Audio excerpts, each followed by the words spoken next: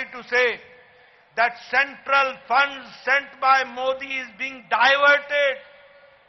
The welfare scheme funds are being diverted. The panchayat funds are being diverted. This is a government which works with vengeful attitude, with political intention. They try to crush the opposition. They try to see that the opposition should not come up. But I may tell Jagan Mohan Reddy, nothing is going to stop Bharatiya Janata Party. Kamal is going to come. Kamal is going to come. We have to understand. I would like to also say that law and order has crumbled down. There is no law and order. The people who are abusing law and order are scot-free. And I'm also very sorry to say that religious places are being attacked. A politics of appeasement is developed. And there is no environment for business. This is a government which is anti-business. This is a government which is working with high-headedness. This is a government where no investment is coming and industries are not coming, but rather leaving the state. This is the sad plight of Andhra Pradesh. Friends, there is lack of employment. And I would like to say how employment will come. When you do not give a congenial environment, how employment is going to come? If you are believing in appeasement and if you are trying to see to it that a particular section of the society gets the benefit and rest are deprived of it, it is not a good thing in a democratic nation, in a democratic state that we have to understand. And I am very sorry to say, when the new education policy talks about encouraging the regional language, here Telugu language is being discouraged. This is something which we have to understand. This is the same way, if I talk about the central government's releases in Andhra Pradesh, before that I would like to say that scheduled caste people, scheduled tribe people, and the backward classes people, their welfare is being ignored. And a policy and politics of appeasement is, is going forward under Jagan Mohan Reddy's government that we have to understand. And if I talk about Narendra Modi's government, I would like to say with proud that in Andhra Pradesh, 27,294 crore was given in 2014-15 and now in 2022 it is 77,538 crores which, which uh, Andhra Pradesh is getting from Government of India from, our from our beloved leader and dynamic leader Shri Narendra Modi. I would like to put one statistics. In NHAI, National Highway Authority of India, last year 1 lakh crore was sanctioned and Andhra Pradesh got 29,593 crores. That is a 5% of population of the Indian population that is Andhra Pradesh got 21% of the Indian budget that is pro- provided by Narendra Modi ji, which we have to understand.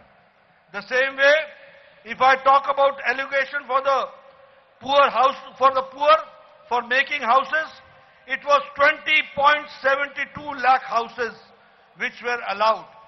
And if I talk about the central institutions, I am proud to say that Modi ji gave here one All India Institute of Medical Sciences. Modi ji gave one All India Institute of Technology, Indian Institute of Technology. Modi ji gave National Institute of Technology, NIT. Modi ji gave Indian Institute of Science and Education and Research, Tirupati. Modi ji gave Indian Institute of Information Technology Design and Manufacturing in Kurnool. Modi ji gave Indian Institute of Petroleum and Energy, Vishakhapatnam. Modi ji gave you Girijan University in Viz- Viziyanagar, Nagaram. The same way, if I talk about the big infrastructure, under National Investment National Investment Pipeline, 8.17 lakh crore investments have been done. So I can say, as a representative of Prime Minister Narendra Modi and a representative of Bharatiya Janata Party, that no central government gave you as much as Narendra Modi ji has given to the people of Andhra Pradesh in various sectors and schemes. But Jagan Mohan Reddy's government is a government where bureaucracy has crumbled down. Law and order is not there. Welfare schemes funds are being diverted. There is lawlessness. And so time has come. In a democratic fashion, Jagan Mohan Reddy should go and Bharatiya Janata Party should come.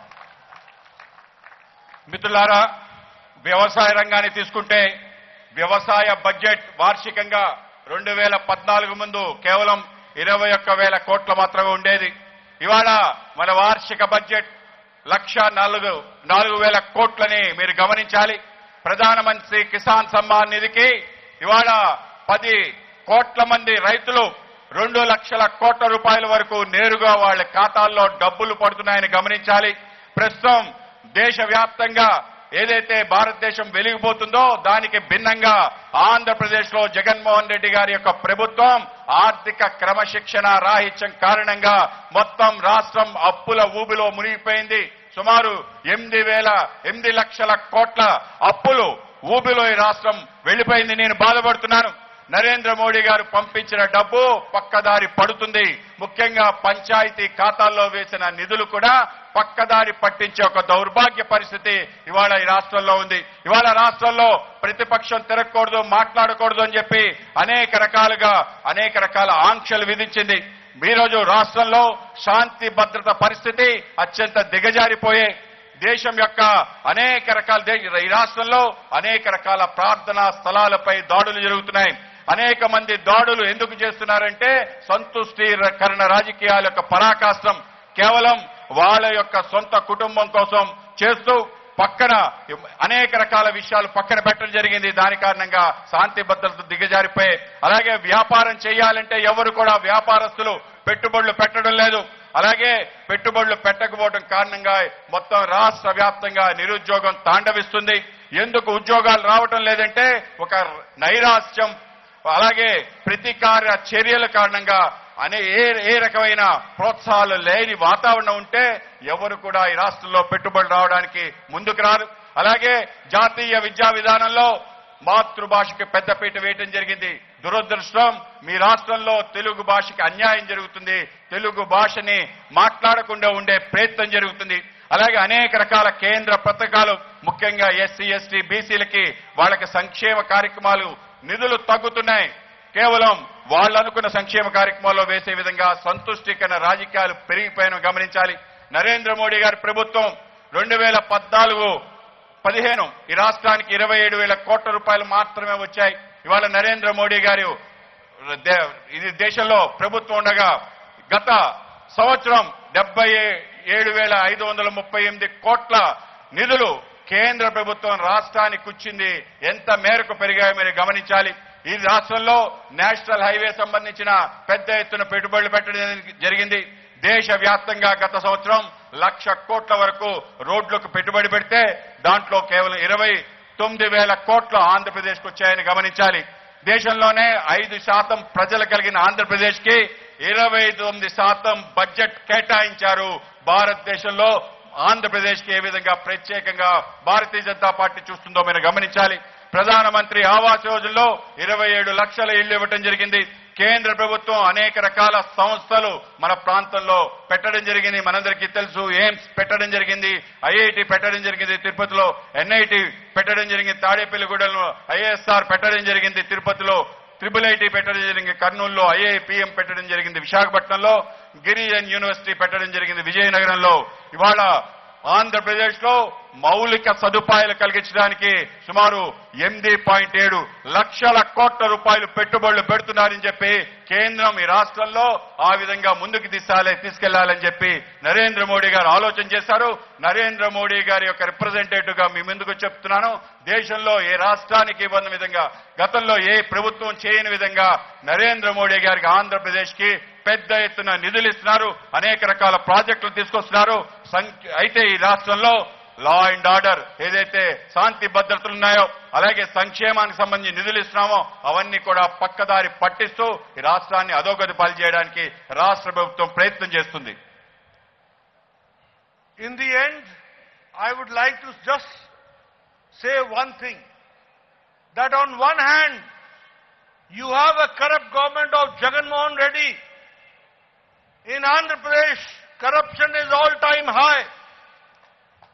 In, in Andhra Pradesh is known for today for land mafia, sand mafia, liquor mafia. They have become the synonym of Andhra Pradesh politics. And at the same time, TDP also missed the bus because when there was an Ashirwad of Narendra Modi, they could not take the advantage. And so, now the time has come where you need a double engine government here in Andhra Pradesh.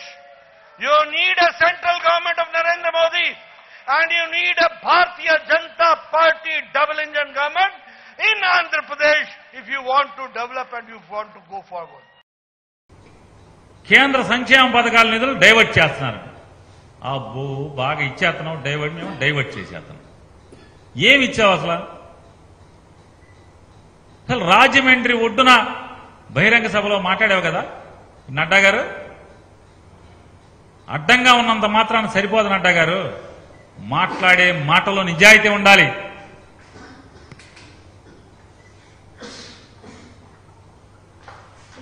రాజమండ్రికి పూతవేటు దూరంలో ఉన్నటువంటి పోలవరం సంగతి ఏం మాట్లాడారు మీరు?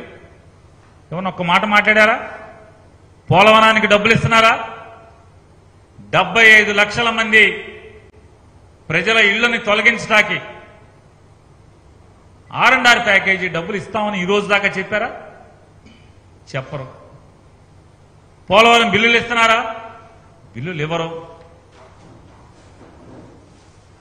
ఈ ఆంధ్రప్రదేశ్ రాష్ట్రానికి జీవనాడిగా ఉండబోతున్నటువంటి పోలవరం ప్రాజెక్టుని విభజన చట్టంలో మేం కడతామని భుజానికి ఎత్తుకున్నటువంటి మీరు ఎక్కడ డబ్బులు ఎవరు కాల్చుకు తింటారు? రాజమండ్రి ఒడ్డు నుంచి గోదావరి తల్లి ఒడ్డు నుంచి ఒక్క మాట పోలవరం గురించి మాట్లాడేటువంటి సాహసం ధైర్యం నిజాయితీ మీలో ఉందా? ఉంటే ఎందుకు మాట్లాడలేదు? ఏమిచ్చారు? ఇంకా ఎంత రావాలి పోలవరం నుంచి? పోలవరంకి మేము ఖర్చు పెట్టింది? ఈ రకమైనటువంటి అవాకులు చవాకులు పేలుతూ. ఇన్ని మాట్లాడుతున్నారు. కానీ ప్రతిపక్షం గొంతు నొక్కుతున్నారంట ఇక్కడ. వా అబ్బా అసలు ప్రతిపక్షాల గొంతు నొక్కడం గురించి కాల్చుకు తినడం గురించి వేధించడం గురించి ఈడీల పేరుతో ఇన్కమ్ ట్యాక్స్ పేరుతో సిబిఐ పేరుతో భారతదేశ వ్యాప్తంగా మీ మన పువ్వు పార్టీ ఏం చేస్తుంది? ఎవరిని అడిగినా చెప్తాడు. ఎవరికి చెవిలో పువ్వులు పెడదామని? నిన్న రాజమండ్రి కానీ అక్కడ ప్రజలు కానీ లేదా ఆంధ్రప్రదేశ్ రాష్ట్ర ప్రజలు కానీ ఏమన్నా నీతో పెద్ద కమలం పువ్వులు పెట్టించుకుంటాక ఏమైనా అమాయకులు అనుకుంటున్నారా? బాగా పూలు పెడదామని చెప్పి అక్కడి నుంచి బయలుదేరి వచ్చేసి ఎగేసుకుంటా. చెవిలో పువ్వులు పెడదామని. ఎవరెవరి మీద మొత్తం భారతదేశ వ్యాప్తంగా ఏమేం కేసులు పెడుతున్నారు ఎవరెవరిని వేధిస్తున్నారు చెప్పండి? అసలు ప్రతిపక్షాలను కాల్చుకు తింటున్నారు ఎవరు చెప్పండి? మీకు ఎదురు మాట్లాడే వాళ్ళందరినీ కూడా ఎంతమందిని జైల్లో పంపించారు? ఎంతమంది ఈడీ రైళ్ళు జరిగినాయి? మీరు మాట్లాడతారు. అసలు మాట్లాడటం నోటికి శుద్ధి ఉండాలి కదా? దురదృష్టం మీరందరూ దేశ నాయకులు. మా కర్మ కాకపోతే. ఆయన చెప్తాడు. ఆయుష్మాన్ భారత్ మాదే మీ ఆరోగ్యశ్రీ పథకంలో డబ్బులన్నీ మాయే అండి. ఏంటి మీ? వైఎస్ రాజశేఖర రెడ్డి గారు నూట ఎనిమిది వాహనం పెడితే వన్ నాట్ ఎయిట్ అంబులెన్స్ పెడితే అంబులెన్స్ని చూసి కాపీ కొట్టి గుజరాత్లో పెట్టుకున్నటువంటి చరిత్ర భారతీయ జనతా పార్టీది. ఆరోగ్యశ్రీ ఇది రాజశేఖర రెడ్డి గారు ఉండగా ప్రారంభిస్తే ఈ రోజుకి ఆయన స్ఫూర్తితో కొనసాగిస్తున్నటువంటి ప్రభుత్వం ఆంధ్రప్రదేశ్ ప్రభుత్వం. ఆయన చెప్తారు అయితే ఆయుష్మాన్ భారత్ అంటే ఆరోగ్యశ్రీ డబ్బులన్నీ మాయని దాని లెక్కలు తెద్దాంరా సాలీనా అంటే ప్రతి సంవత్సరం రెండు వేల రెండు వందల నుంచి రెండు వేల నాలుగు వందల వరకు ఆరోగ్యశ్రీ కింద ఈ రాష్ట్రంలోని పేద వర్గాలందరికీ కూడా వైద్యం చేయించే బాధ్యత జగన్మోహన్ రెడ్డి గారు ప్రభుత్వం తీసుకుని చేయిస్తుంటే మీరు ఇచ్చేటువంటి రీంబర్స్మెంట్ ఎంతో తెలుసా నడ్డా గారు? ముందుటేడు మూడు వందల కోట్లు అయితే ఈ సంవత్సరం రెండు వందల ముప్పై కోట్లు. మీరిచ్చింది రెండు వందల ముప్పై కోట్లు. మాకైన ఖర్చు రెండు వేల నాలుగు వందల కోట్లు ఆరోగ్యశ్రీ కింద. ఈ సోకే ఈ రెండు వందల ముప్పై కోట్ల రూపాయల సోక్కి అంట ఆరోగ్యశ్రీ అయిపోతుందంట. నువ్వు పెట్టే నువ్వు ఇచ్చే రెండు వందల ముప్పై రెండు వందల ముప్పై కోట్ల రూపాయలు ఆరోగ్యశ్రీ కింద బ్యాండేజ్ వేయడం లేదా మందులు ఇచ్చిందా? ఆఖరికి మందులు ఇవ్వడం కాదు. వైద్యం ఆరోగ్యశ్రీ అయిపోయిన తర్వాత వైద్యం అయిపోయిన తర్వాత ఇంటికి వెళ్ళేప్పుడు ఆరోగ్య ఆసరా అనే పథకం అంటే ఇంటికి వెళ్ళిన తర్వాత పని చేసుకోలేరేమో అని చెప్పని ఒళ్ళు సహకరించదేమో అని చెప్పని ఇచ్చేటువంటి ఆరోగ్యశ్రీ ఆరోగ్యశ్రీ ఆసరాకి అయ్యే ఖర్చు మూడు వందల అరవై ఐదు కోట్ల రూపాయలు. డిశ్చార్జ్ అయ్యి ఇంటికి వెళ్ళిన తర్వాత రెక్కల కష్టం మీద బతకలేరని చెప్పని జగన్మోహన్ రెడ్డి గారి ప్రభుత్వం ఇచ్చేటువంటి డబ్బులు మూడు వందల అరవై ఐదు కోట్ల రూపాయలు అయితే మీరు ఇచ్చిన మనం ఏడ్చి తెచ్చింది ఎంత? రెండు వందల ముప్పై కోట్ల రూపాయలు ఆయుష్మాన్ భారత్ కింద. మేము ఖర్చు పెట్టేది రెండు వందల మూడు రెండు వ- రెండు వేల మూడు వందల నుంచి రెండు వేల నాలుగు వందల కోట్ల రూపాయలకి సంవత్సరానికి ఆరోగ్యశ్రీ కింద మేము ఖర్చు పెడుతున్నాం. ఇది మన సోకైతే అయ్యా మేము ఒక కోటి నలభై ఒక్క లక్షల కుటుంబాలకు పైబడి అంటే దాదాపు ఒక ఒక కోటి నలభై ఏడు లక్షల కుటుంబాలకి మేము ఆరోగ్యశ్రీ పథకాన్ని అందిస్తుంటే మీరు రోజు బేరమాడేది మాత్రం యాభై ఐదు లక్షలకు మించి మనం కుటుంబాలకు మేము ఇవ్వలేము. మీ పెట్టే రూల్స్ అసలు మామూలుగా ఈ ఆయుష్మాన్ భారత్ కింద పెట్టేటువంటి రూల్స్ అన్ని మేము అమలు చేస్తే ఒక్కడికి ఆరోగ్యశ్రీ రాదు ఈ రాష్ట్రంలో. నీ రూల్స్ అన్ని పెట్టి నువ్వు ఇచ్చింది రెండు వందల ముప్పై కోట్ల రూపాయలు కిందటేడు దీనికి బాగా పొడి చేసుకుంటున్నావు ఓకే. నిక్కుతున్నావు నీలుగుతున్నావు నువ్వు ఇచ్చేది నిక్కి నీలిగి మూడు రెండు వందల ముప్పై కోట్ల రూపాయలు ఆరోగ్యశ్రీ ఆయుష్మాన్ భారత్ వల్ల నడుస్తుందంట. అంటా ఇక్కడ నవ్వుతారేమో. మరి వీళ్ళ దగ్గర లెక్కలుంటాయి? నవ్వుతారనేటువంటి ఈషన్ మాత్రం సిగ్గుపడకుండా బరిదేగించి అబద్ధాలు అట్టాకి అక్కడి నుంచి ఎగురుకుంటా ఇక్కడికి రాజమండ్రి వచ్చి అబద్ధాలు అట్టాకి వచ్చేశారు. ఆయన ఇంకేం చెప్తాడు? కేంద్ర అదేంటి? బియ్యం ఇస్తున్నారంట. బియ్యం ఏం బియ్యం ఇస్తున్నారు? బియ్యం ఇచ్చి- బియ్యం మోడీ గారు ఇస్తున్నాడా? ఒక కోటి నలభై ఏడు లక్షల కుటుంబాలకి బియ్యం మేమిస్తుంటే మీరిచ్చేది యాభై లక్షల కుటుంబాలకు మాత్రమే అది కూడా మీరిచ్చే సబ్సిడీ మాత్రమే. పైన డబ్బులు మాయే. అంటే మా రాష్ట్ర ప్రజలే డబ్బులయ్యి ఆంధ్రప్రదేశ్ రాష్ట్ర ప్రజలే. ఏంటి మీరిచ్చేది? అరకొరగా ఇచ్చి ఇచ్చామని చెప్పని ముద్ర వేసుకుంటాక బ్యాడ్జ్ తగిలించుకుంటాక నేను చెప్తాడు? మేము ఇస్తా డెబ్బై ఆంధ్రప్రదేశ్ బీజేపీ వచ్చాక ఏపీకి డెబ్బై ఏడు వేల కోట్లు ఇచ్చారండి. ఏంటి డెబ్బై? ఎవడు సొమ్ము ఇచ్చేసావు? ఎవరిదేమన్నా ఆయాసంగా ఇచ్చావా? దానం చేసావా? ఫైనాన్స్ కమిషన్ డివల్యూషనరీ క్యాలిక్యులేషన్స్ ప్రకారం మా వాటా మాది. అది హక్కు మాకు ఆంధ్రప్రదేశ్ రాష్ట్రానికి. దానమా? దయాభిక్ష? మీ భారతీయ జనతా పార్టీ అన్న మాకు బిచ్చమేసిందా? ఫైనాన్స్ కమిషన్ డివల్యూషన్ ప్రకారం మాకు వచ్చేది హక్కుగా మాకు వచ్చే డబ్బులు మాకు వచ్చినాయి. ఏం కొత్తగా నువ్వేమిచ్చావు అదనంగా ఏమిచ్చావు మాట్లాడతాడు. అసలు ఈ రాష్ట్రంలో లాండ్ ఆర్డర్ని ఫెయిల్ చేయడానికి స్వేచ్ఛగా ఆనందంగా శాంతిమయ జీవితం గడుపుతున్నటువంటి ఆంధ్రప్రదేశ్ రాష్ట్రాల్లో మతం చిచ్చు పెట్టడానికి ప్రయత్నం చేస్తున్నది ఎవరు రోజు?